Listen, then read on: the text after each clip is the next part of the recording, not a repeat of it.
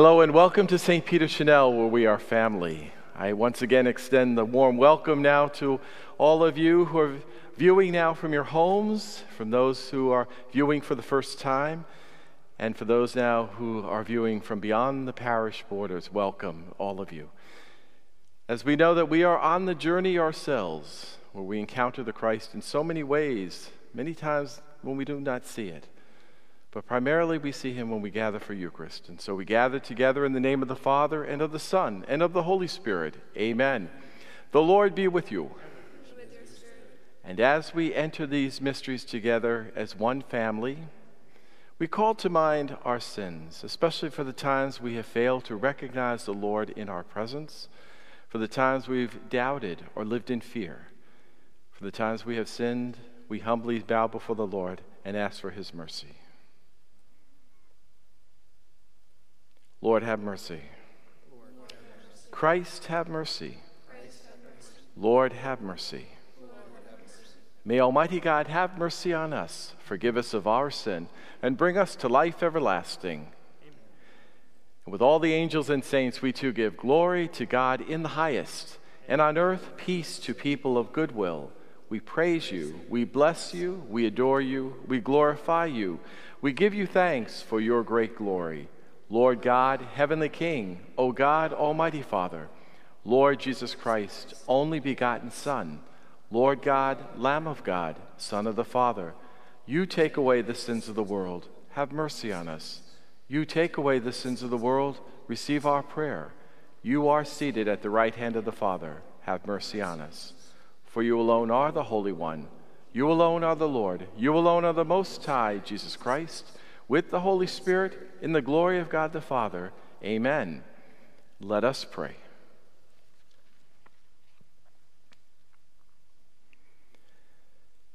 May your people exult forever, O God, with renewed youthfulness of spirit, so that rejoicing now in the restored glory of our adoption, we may look forward in confident hope to the rejoicing of the day of resurrection we make our prayer through our Lord Jesus Christ, your Son, who lives and reigns with you in the unity of the Holy Spirit, one God, forever and ever.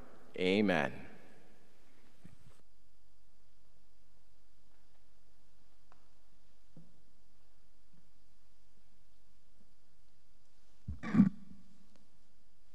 A reading from the Acts of the Apostles. Then Peter stood up with the eleven, raised his voice, and proclaimed, you who are Jews, indeed all of you staying in Jerusalem, let this be known to you, and listen to my words. You who are Israelites, hear these words Jesus, the Nazarene, was a man commended to you by God, whose mighty deeds, wonders, and signs, which God worked through him in your midst, as you yourselves know. This man, delivered up by the set plan and foreknowledge of God, you killed, using lawless men to crucify him. But God raised him up, releasing him from the throes of death, because it was impossible for him to be held by it. For David says of him, I saw the Lord ever before me. With him at my right hand, I shall not be disturbed. Therefore, my heart has been glad, and my tongue has exulted. My flesh too will dwell in hope, because you will not abandon my soul to the nether world, nor will you suffer your Holy One to see corruption. You have made known to me the paths of life. You will find me with joy in your presence. My brothers, one can confidently say to you about the patriarch David that he died and was buried, and his tomb is in our midst to this day. But since he was a prophet and knew that God had sworn an oath to him that he would set one of his descendants upon his throne, he foresaw and spoke of the resurrection of the Christ, that neither was he abandoned to the netherworld, nor did his flesh see corruption. God raised this Jesus. Of this we are all witnesses. Exalted at the right hand of God, he received the promise of the Holy Spirit from the Father and poured him forth, as you see and hear. The word of the Lord.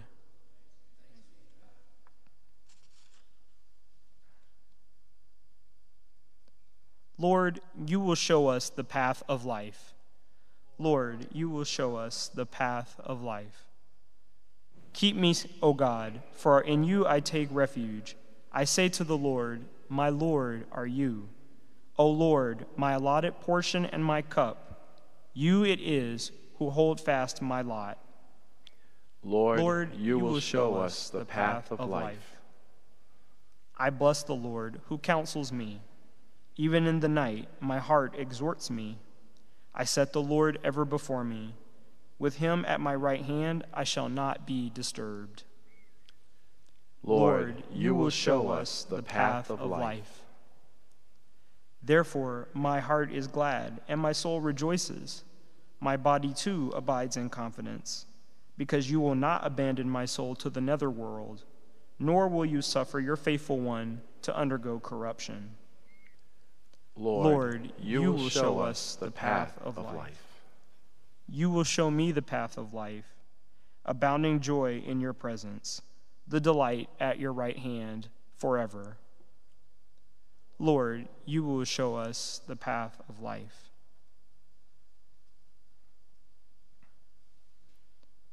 A reading from the first letter of St. Peter. Beloved, if you invoke as Father him who judges impartially according to each one's works, conduct yourselves with reverence during the time of your sojourning, realizing that you were ransomed from your futile conduct handed on by your ancestors, not with perishable things like silver or gold, but with the precious blood of Christ, as of a spotless, unblemished lamb. He was known before the foundation of the world but revealed in the final time for you, who through him believed in God, who raised him from the dead and gave him glory, so that your faith and hope are in God. The word of the Lord. Thanks, Thanks be to God.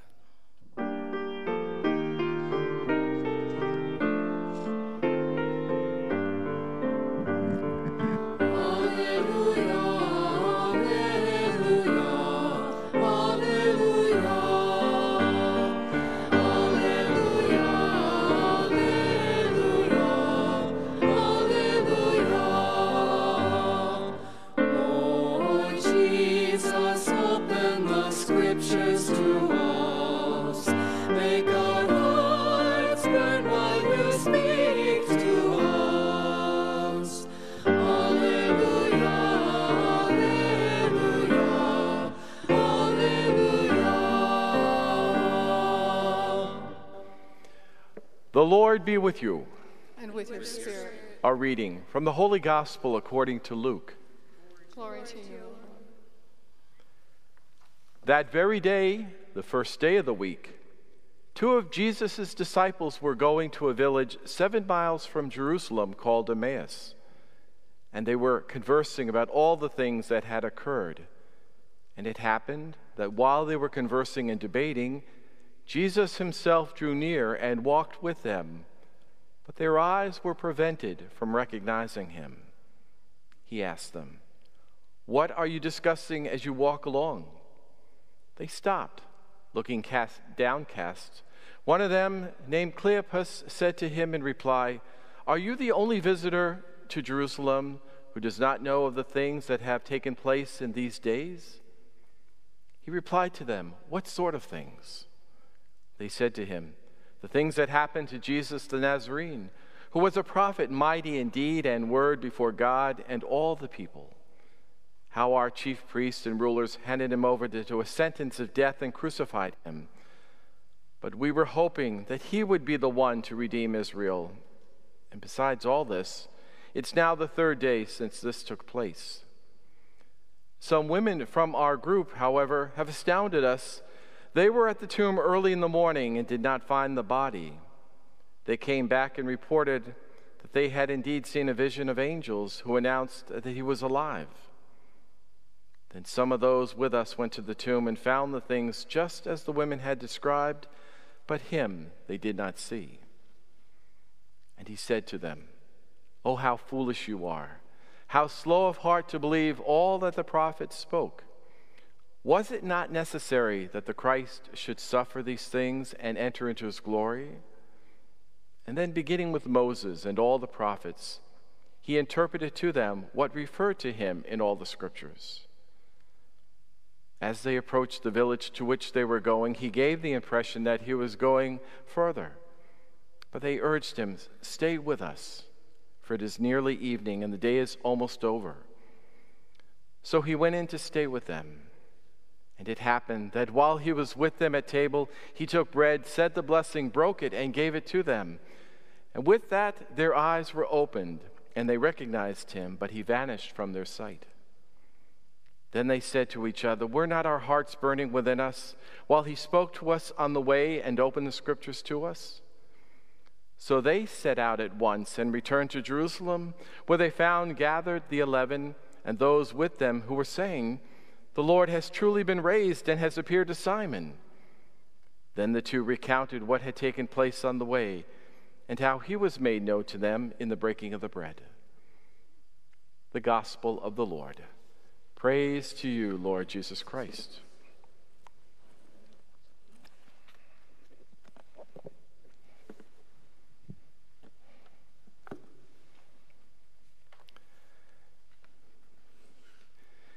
The gospel that we hear today is one of Luke's most impressive teaching gospels. We say in catechetical terms, a pedagogical gospel. He was speaking about how we come to faith. But this is also important because it speaks to us today. First of all, it was shared by a church gathered at home just as you are today.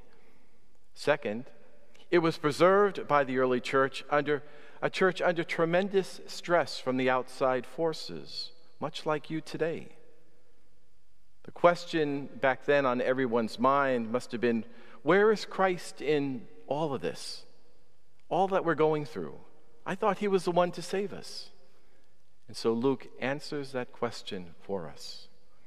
You know, it's not my custom to review the gospel that you have just heard but exceptions can be made. And so let's go through this gospel today.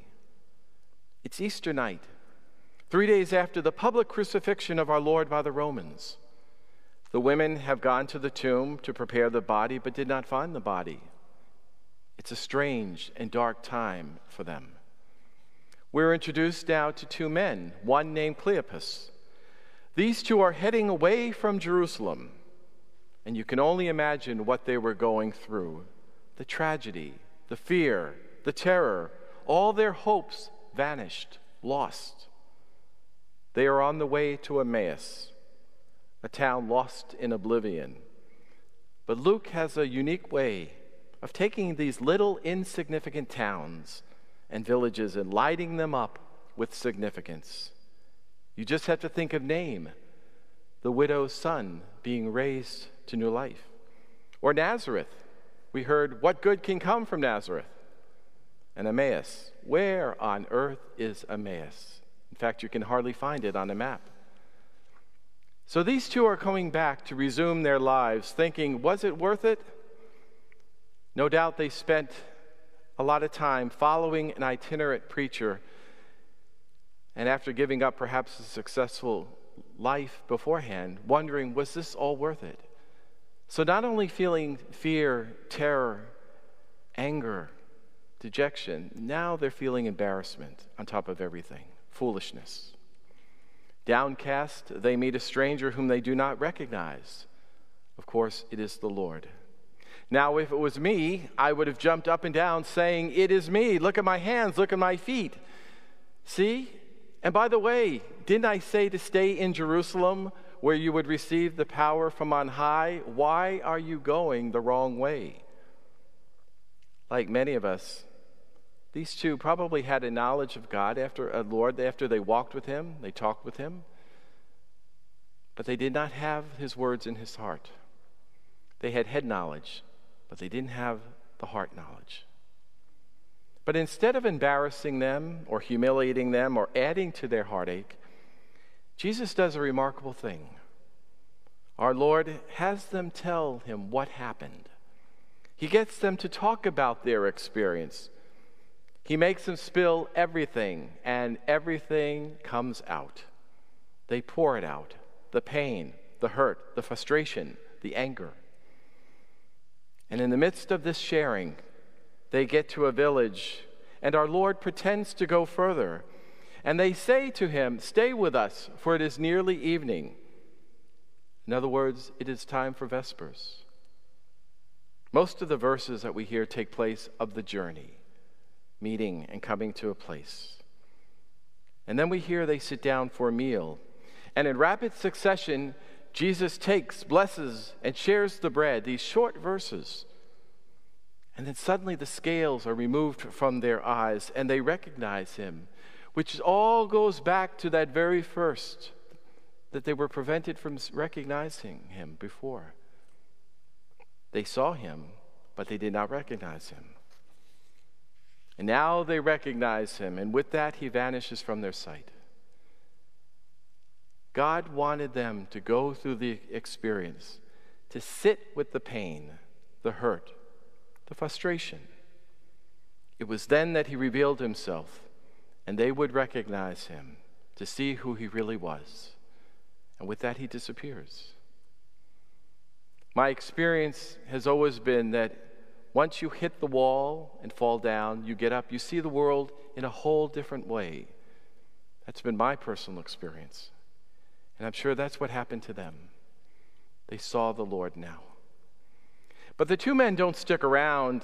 They don't say, Stay with us, comfort us, encourage us, help us, hold our hand. No. They say, They remember. Weren't our hearts gradually burning as he was speaking to us when we were on the road? The gradual nature of the burning heart corresponds to the gradual walk along the road when he explained all that the prophets shared, starting with Moses. They came to see and understand. It is a catechetical story because it is a story of faith. It's a story how all of us come to faith after we put down all the pretenses and sit with everything. We see the Lord in our midst. And they race back to Jerusalem. They find Peter explaining to the apostles gathered around him Peter saying, He is risen. There's great excitement in the room. And then these two bust in to share how they came to recognize him in the breaking of the bread, which, by the way, anytime you hear those three words, blessed, broken, and shared, is always a reference to Eucharist, the shared experience. I always love that story, as I said, because it is indeed our story, our story of coming to faith. Because many times we are stuck. We are on the journey, we're looking for something. The search for God, the quest for God, is our experience in difficult moments. Sometimes we don't see Him, but we know something has happened. God is there, but we don't have the full experience. Jesus walks with us through our dark moments, leading us into the light. He is with you now, He is with you right now and He leads us into an experience of community. And while we are not together physically in the sharing of the bread and word, we are one in the spiritual communion. Right now, we are together in our common experience. You know, the question asked in spiritual direction is very simply Do you recognize God in the experience that you are going through right now? Be that loss or grief anger, frustration, joy, or love. I've seen it in God's presence in the generosity of you folks, in families walking together, especially on the properties here, dads and kids together like I've never seen before. I see God in those who respect social distancing out of respect for human life. So many other ways when you have eyes to see. And Luke reminds us, as he did his community, that God himself journeys with us in the person of his Son, always leading us forward. And the great event, the sacred meal, is when we come to experience him if we have eyes of faith. So I invite you now to take a moment and ask the Lord. Simply say, Journey with us in our sadness, despair, frustration, or lack of faith. and lead us to a true encounter, Lord. When you stop and say these things, you'll find that your prayers have more meaning. They're not just said. Your reading of the scriptures will be full. You experience the God of love, the God of life, holding your hand through this time. All is good. Do not be afraid. St. John Paul II entitled his apostolic exhortation on Eucharist called Mane Nobiscum Domine, Stay with us. May that be our prayer during this time we're going through right now. Stay with us. As Pope Francis wrote in his recent apostolic exhortation, Evangelii Gaudium, the joy of the gospel, he introduced us to the term accompaniment it's the call to journey with those who struggle. So let us accompany one another to recognize the risen Christ in our midst, especially with those who cannot see the Lord at work, with those who know who we know and love, who live in fear and doubt. Accompany those who do not recognize or know the Christ in the midst of the events taking place and the people around them. This is what it means to be intentional disciples. And so, as the psalmist says, Lord, you will show us the path of life. Amen.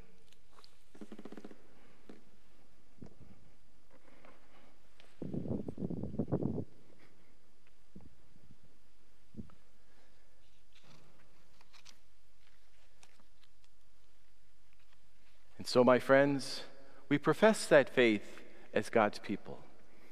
I believe in one God, the Father Almighty, maker of heaven and of earth, of all things visible and invisible. I believe in one Lord Jesus Christ, the only begotten Son of God, born of the Father before all ages, God from God, light from light, true God from true God, begotten, not made, consubstantial with the Father. Through him all things were made. For us men and for our salvation, he came down from heaven and by the Holy Spirit was incarnate of the Virgin Mary and became man. For our sake he was crucified under Pontius Pilate. He suffered death and was buried, and rose again on the third day in accordance with the Scriptures. He ascended into heaven and is seated at the right hand of the Father. He will come again in glory to judge the living and the dead, and his kingdom will have no end. I believe in the Holy Spirit, the Lord, the giver of life, who proceeds from the Father and the Son who with the Father and the Son is adored and glorified, who has spoken through the prophets.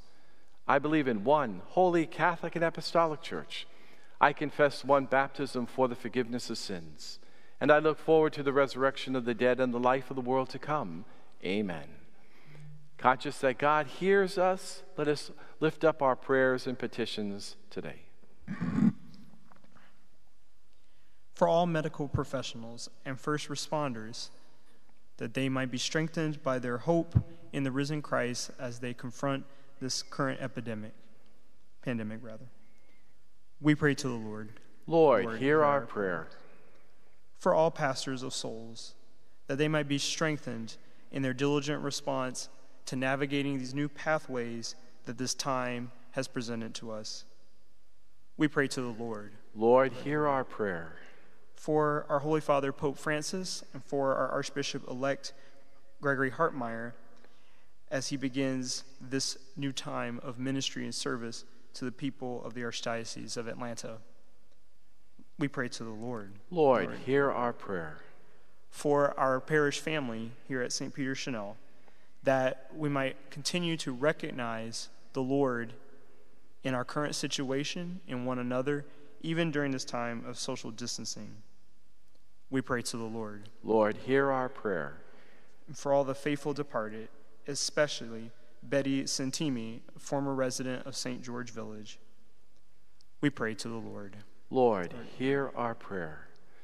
We pray for our seminarian, Avery Daniel, who will be leaving us now to continue now his studies in New Orleans. We pray to the Lord. Lord, hear our prayer. Lord God, giver of all life, hear the prayers of your people, those prayers that we bring before you, spoken and unspoken, for they come before you in the name of the Christ, who is Lord forever and ever. Amen. As we make our offering, I would like to extend a word of thanks now to once again to all of you now for supporting the parish by your weekly giving online or in the envelope. I thank all of you who are making contributions now beyond the parish, who are helping us out. We are very appreciative of your generosity and your support. Thank you very much.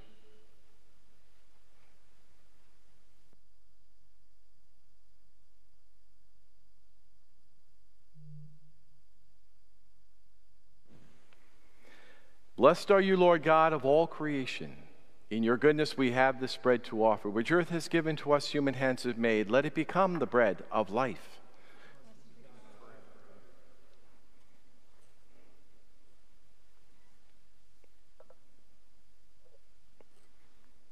By the mingling of this water and wine, may we come to share in Christ's divinity, who humbled himself to take on our humanity.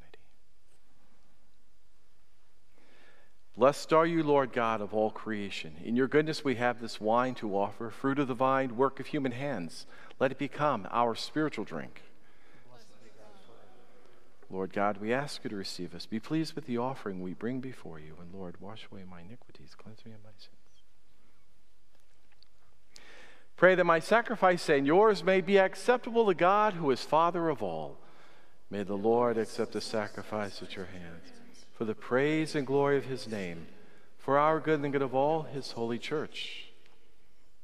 Receive, O Lord, we pray, these offerings of your exultant church, and as you have given her cause for such great gladness, grant also that the gifts we bring may bear fruit in perpetual happiness through Christ our Lord. Amen. The Lord be with you and with your spirit. Lift up your hearts. We lift them up to the Lord. Let us give thanks to the Lord our God. It is right and just. It is truly right and just, our duty and our salvation at all times to acclaim you, O Lord but in this time, above all, to praise you yet more gloriously, when Christ, our Passover, has been crucified and sac- sacrificed. Through him, the children of light rise to eternal life, and the halls of the heavenly kingdom are thrown open to the faithful. For his death is our ransom from death, and in his rising, the life of all has risen.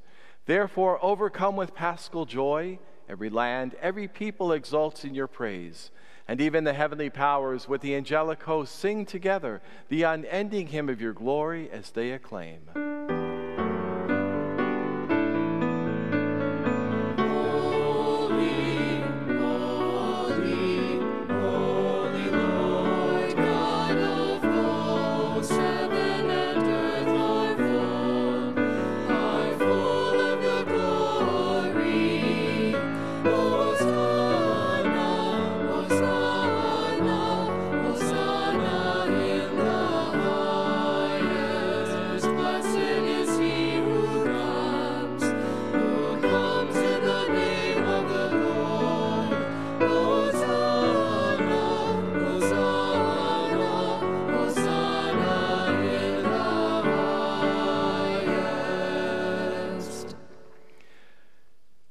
Indeed holy, O Lord, and all you have created rightly gives you praise, for through your Son, our Lord Jesus Christ, by the power and working of the Holy Spirit, you give life to all things and make them holy.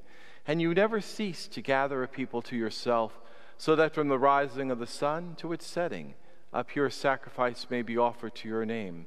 And therefore, O Lord, we humbly implore you, by the same Spirit, graciously make holy these gifts we have brought to you for consecration that they may become for us the body and blood of your Son, our Lord Jesus Christ, at whose command we celebrate these mysteries.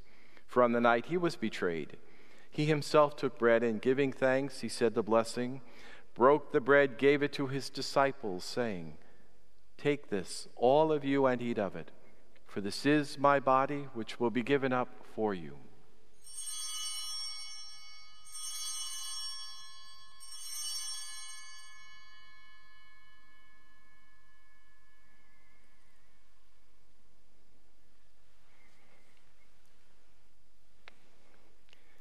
A similar way, when supper was ended, he took the chalice, and giving you thanks, he said the blessing and gave the chalice to his disciples, saying, Take this, all of you, and drink from it.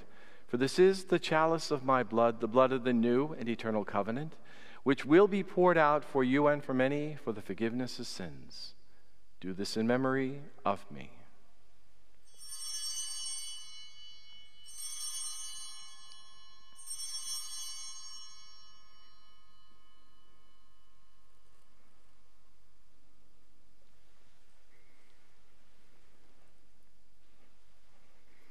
The mystery of faith. We proclaim your death, O Lord, and profess your resurrection until you come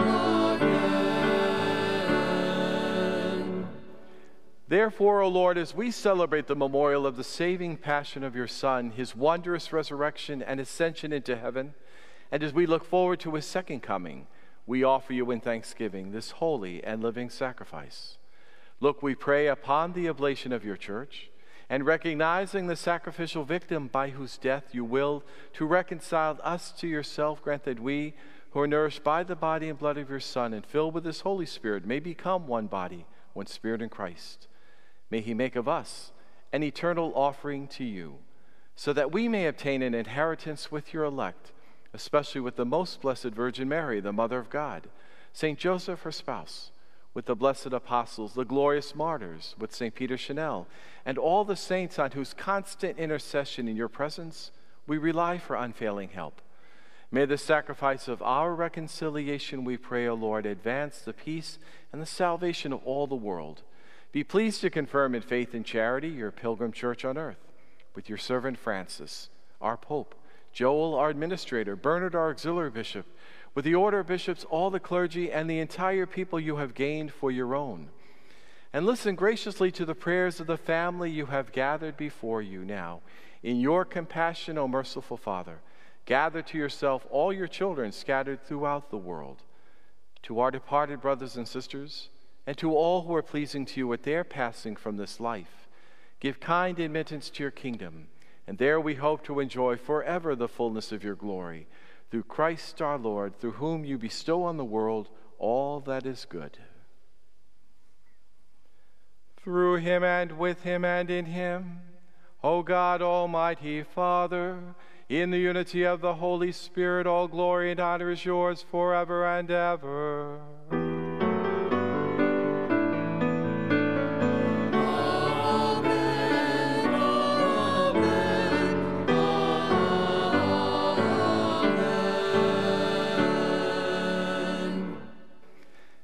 The Savior's command, formed by divine teaching, we dare to say, Our Father, who art in heaven, hallowed be thy name.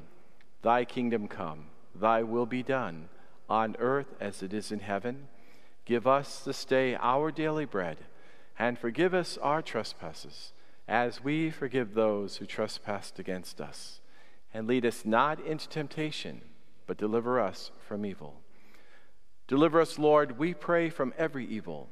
Graciously grant peace in our days, that by the help of your mercy, we may be always free from sin and safe from all distress, as we await the blessed hope and the coming of our Savior, Jesus Christ. For the kingdom, the power, and the glory are yours, now and forever. And Lord Jesus Christ, you said to your apostles, Peace I leave you, peace I give you. As we hear these words again tonight, we ask you to look not on our sin, but on the faith of your church, and graciously grant her peace and unity in accordance with your will, who live and reign forever and ever. The peace of our Lord be with you always. And let us take a moment to offer to one another a sign, a verbal gesture of peace.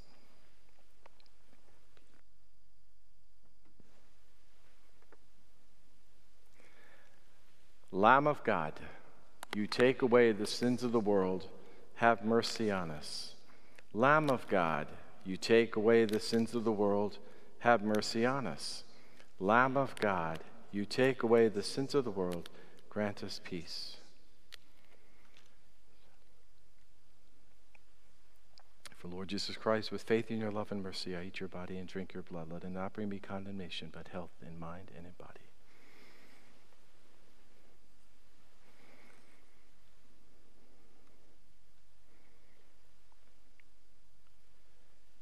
Behold the Lamb of God who takes away the sin of all the world. Blessed are those called today to the supper of the Lamb.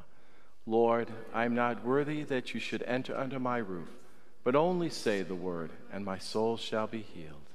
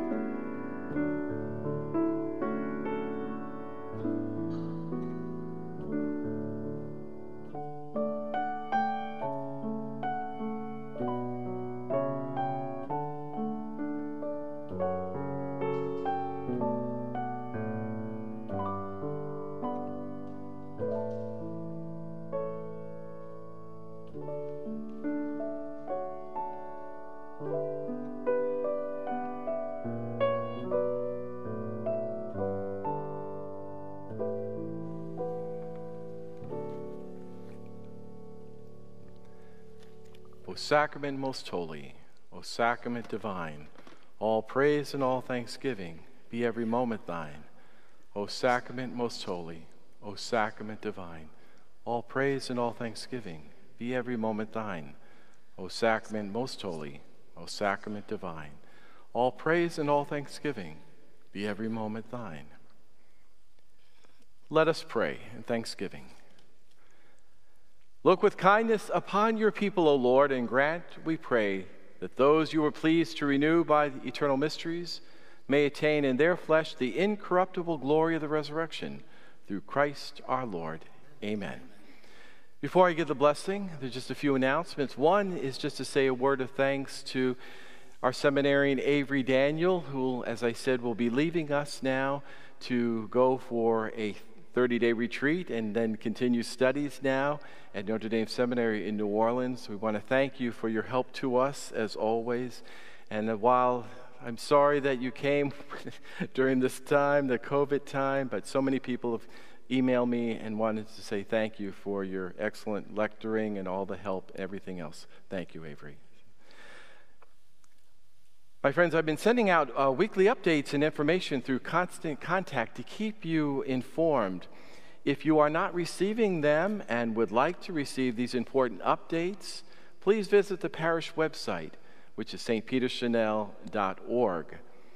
Also, we are only five people away from signing up now for registering for the YouTube channel for St. Peter Chanel. So make sure that you tell your friends to do that so that we can continue on the good work here in the parish. And so, with that, I wish you all a blessed week, a healthy week, and while we continue now social distancing, to pray for one another in this important time. The Lord be with you. And with your spirit. And may the blessing of Almighty God, the Father, the Son, the Holy Spirit descend upon you, remain with you now and forever. Amen. The Mass is ended. Let us go in peace to glorify God with our lives. Thanks, Thanks be, be to God. God.